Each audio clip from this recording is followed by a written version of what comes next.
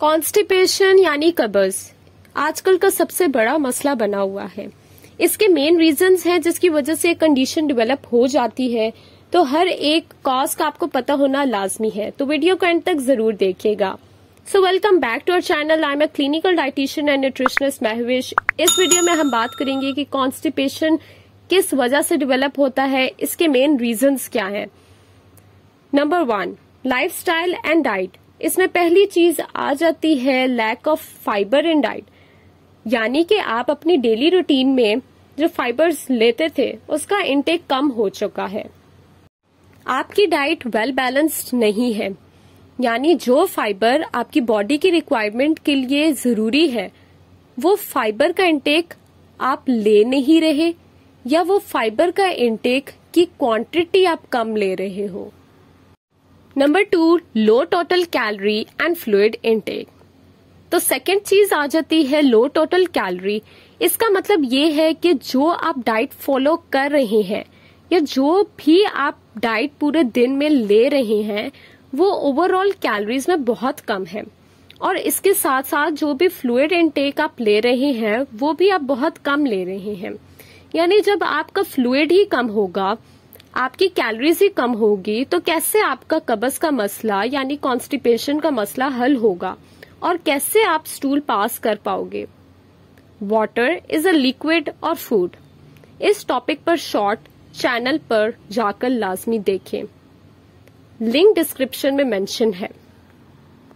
Number third iron and calcium supplements तीसरी चीज़ आ जाती है कि आप आयरन या कैल्शियम के सप्लीमेंट्स डेली रूटीन में ले रहे हो, जिसकी वजह से कॉन्स्टिपेशन हो सकता है। या फिर आप कोई भी सप्लीमेंट वेदर वो आयरन है कैल्शियम है, या कोई भी सप्लीमेंट है, वो आप ओवरडोज में ले रहे हो, जिसकी असल इनटेक क्वांटिटी आपको सही से मालूम ही नहीं है। तो उसके लेने की वजह से आपको कॉन्स्टिपेशन यानी कब्ज हो सकता है। Number four lack of exercise तो फोर्थ पे आ जाता है लैक ऑफ़ एक्सरसाइज यानी आपकी सेडेंट्री लाइफस्टाइल गुजर रही है। कोई फ़िज़िकल एक्टिविटी आप नहीं कर रहे हैं, या फिर आप कहीं जिम नहीं जा रहे, या घर में ही एक्सरसाइज या वर्कआउट नहीं कर रहे। इवन आप पार्क में भी चहल कदमी नहीं करने जाते। तो इसके लिए आपको एक्सरसाइज या वर्कआउट या इसके साथ साथ फ़िज़िकल एक्टिविटी करना बहुत ज़रूरी होता है ताकि आप कॉन्स्टिपेशन से बच सकें। नंबर फिफ्थ इमोबिलिटी यानी इसमें कुछ इस तरह के पेशेंट्स होते हैं जो कि बेड रिडन होते हैं, उनकी मोबिलिटी नहीं होती, जिसकी वजह से वो कॉन्स्टिपेटेड हो जाते हैं। Number six laxative abuse most people use laxative to lose weight वो समझते हैं कि लेग्जेटिव लेने से उनका वेट जल्दी लॉस होगा, जबकि उसकी वजह से आप बहुत ज़्यादा वेरी लो कैलोरी डाइट पर चले जाते हो।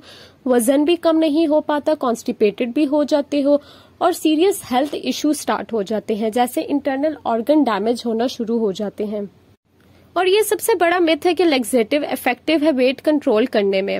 लेग्जेटिव यूज़ करने की वजह से it causes loss of water minerals electrolytes and it causes constipation number seven postponing urge to defecate जब आप होल्ड करके रखते हो पूप को, किसी ओकेजन में आप करते हो तो it's not as much harmful but doing this often can lead to constipation inflammation and more severe complication यानी जो लोग अपने पूप को होल्ड करके रखते हैं ऑफन में start to lose the urge to poop जिसकी वजह से फीकल इनकॉन्टिनेंस हो जाता है। Other people may experience constipation number eight stress and sleep cycle आपने अपने स्ट्रेस को मैनेज करना होगा। आप फ़िज़िकल एक्टिविटी कर सकते हो। आप योगा कर सकते हो। आप गेम्स खेल सकते हो। आप वर्कआउट कर सकते हो। और अपने स्लीप साइकिल को भी मैनेज करना होगा। प्रॉपर रेस्ट करना होगा।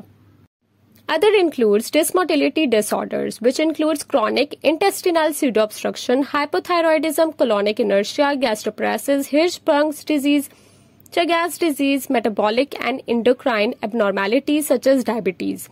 Neurologic diseases, which includes amyotrophic lateral sclerosis, multiple sclerosis, muscular dystrophy, Parkinson's disease, Friedreich ataxia, cerebral palsy, para or quadriplegia, spinal cord injury, cerebrovascular disease, brain trauma. Pelvic floor disorders, which includes pregnancy, dyssynergic defecation. chronic use of opiates, which includes oncology patients, chronic pain patients, narcotic bowel syndrome. Other gastrointestinal disorders, which includes diseases of the upper gastrointestinal tract, diseases of the large bowel resulting in failure of propulsion along the colon, anorectal malformations or outlet obstruction, irritable bowel syndrome, IBS, anal fissure. So hope you like this video. If you want diet plan for weight loss, weight gain or for any medical reason, any disease, you can DM us on Instagram page for registration and details. इसके अलावा आप Instagram और TikTok पर भी follow कीजिए Hopes आपको ये video अच्छी लगी होगी। अगर आपको वीडियो अच्छी लगी है वीडियो को लाइक कीजिए चैनल को सब्सक्राइब कीजिए और बेल आइकन को ऑन कीजिए ताकि फर्दर अपडेट्स आपको मिलती रहे। थैंक यू अल्लाह हाफिज।